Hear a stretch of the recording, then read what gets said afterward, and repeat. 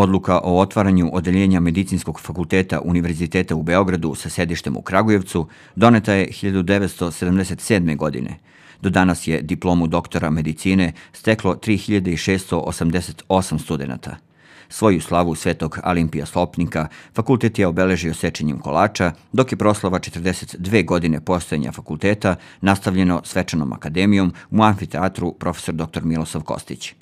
Gostima iz akademske zajednice, lokalne samouprave, ministarstva, privrede, crkve, kulturnih institucija i kolegama iz čitave Srbije, nakon obraćanja dekana profesora dr. Vladimira Jakovljevića, prikazan film sa aktivnostima koje je Fakultet medicinskih nauka imao u proteklih godinu dana. Prošla godina je bila, da kažem, prilično uspešna, naravno ni malo laka, ali i ne očekujemo da će godine biti lake. Godine će biti naravno sve teže i teže, pre svega u profesionalnom smislu i profesionalnom izazovu, ali neke brojke jasno pokazuju kako smo mi radili. Pre svega se to odnosi na veliki broj diplomiranih doktora medicine, stomatologije, diplomiranih magistara farmacije, e, strukovnih tehničara, doktora nauka, specijalista i subspecijalista s jedne strane. S druge strane, to je dakle taj obrazovni profil rada našeg fakulteta, s druge strane to je naučno-istraživački rad, dakle 196 časopisa, odnosno radova publikovanih u časopisima na, sa SCI liste, sa prosečnim infofaktorom 3,45, što je jako dobar rezultat. Oni koji se bave tom problematikom jako dobro znaju o čemu govorim.